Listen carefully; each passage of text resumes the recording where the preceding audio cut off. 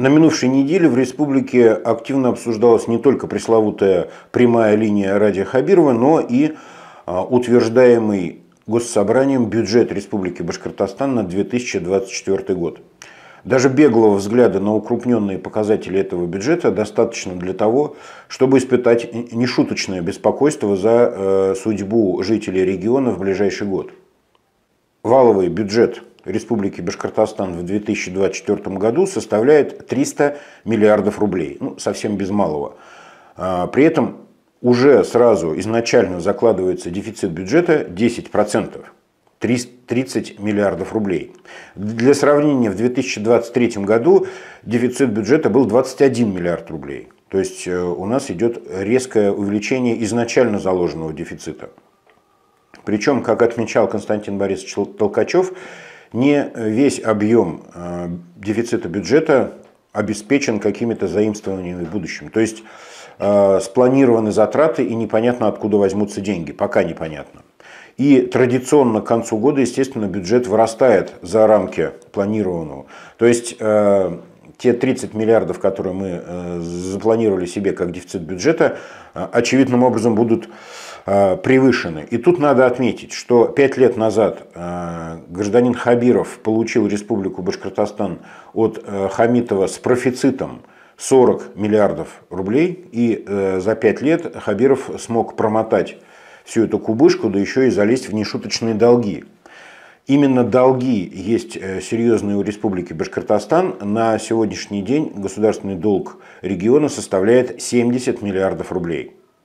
Только одних процентов по этому долгу Башкортостан платит 3 миллиарда в год. Ну, для понимания, например, за три года с 2020 по 2023 год э, госдолг вырос с 13 до 70 миллиардов рублей. Госдолг, напомню, это то, что регион заимствует либо в федеральном бюджете, либо в каких-то еще государственных источниках, э, трансферты, субсидии и так далее. Это то, что нужно теоретически возвращать. У Башкортостана отмечается крайне низкий темп прироста доходов бюджета. Это всего лишь 11,8%, что э, ему дает 60 место в Российской Федерации. Зато мы рекордсмены по дефициту бюджета. По дефициту бюджета относительно объемов бюджета мы на втором месте в Российской Федерации. В чем, собственно, причина э, вот такого э, ну, стабильного падения бюджета, такой стагнации региона – Почему мы не видим развития и э, процветания, невзирая на все причитания э, Хабирова о неимоверном росте промышленного производства. Ну, то есть, либо э, рост промышленного производства, здесь это все вранье, либо что-то здесь совсем не так. Собственно, причин здесь может быть много. Они могут быть и субъективными, и объективными.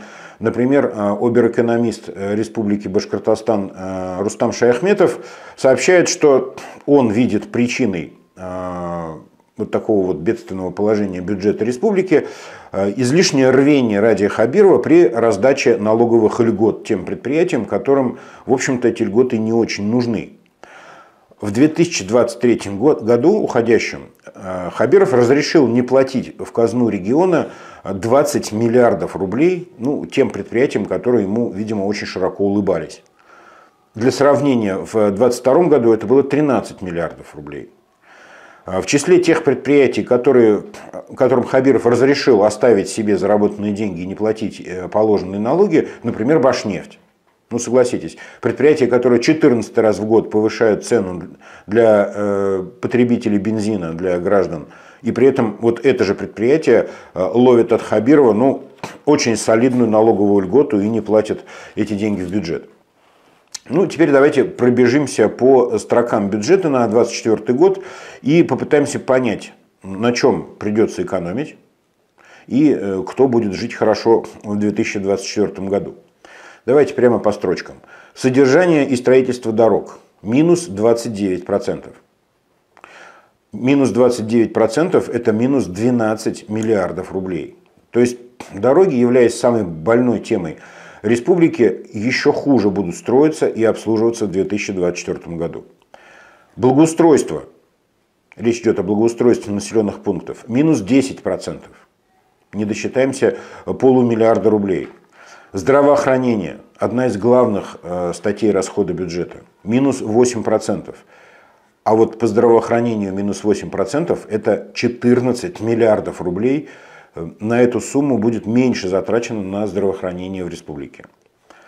Охрана семьи и детства минус 15%. Физкультура и спорт минус 38%. Молодежная политика минус 52%. Ну тут Яна Гайдук, даже если захочет что-нибудь украсть, уже не сможет. Финансовая поддержка малых городов и населенных пунктов.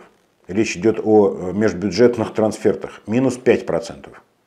То есть это только основные траты бюджета, они сокращаются. Вообще бюджет 2024 пройдет под э, девизом сокращения и урезания.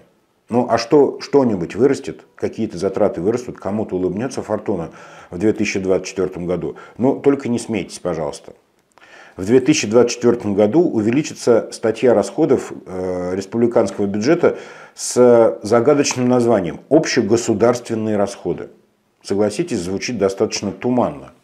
И этим непонятным э, словосочетанием прикрывают сумму содержания Радия Хабирова и его команды. То есть это те деньги, которые будут потрачены на его содержание и обслуживание. И эта статья бюджета выросла на 1,3 миллиарда рублей. Это только прирост. Для сравнения, в 2022 году на нужды Хабирова и его друзей, личные нужды Хабирова и его друзей, было потрачено свыше 10 миллиардов рублей. Лично на Хабирова, вот в 2024 году уже уйдет примерно 800 миллионов рублей. Это только ему. Никаким замом, никаким министром. Ну и еще, значит, э, где-то примерно 12 миллиардов рублей уйдет на содержание чиновничьего аппарата. Напомню, это не э, какие-то там абстрактные общегосударственные нужды, это просто их нужды. Автомобили, бензин, э, прекрасная мебель, банкеты и так далее, и так далее. В отличие от Рустема Шаяхметова, я, как человек, не обладающий фундаментальным экономическим образованием, вижу проблему стремительной деградации региона в том, что регионом управляет человек, который тупо прогулял все лекции по бухгалтерскому учету, когда учился в институте.